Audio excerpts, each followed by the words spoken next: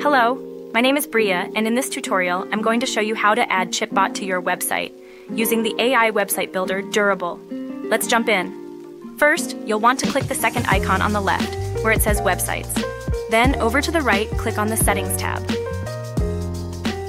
Now, scroll down until you find the section called Custom Code. We're going to add ChipBot's install code right where it says Footer Code. Now change tabs and go over to your ChipBot's dashboard.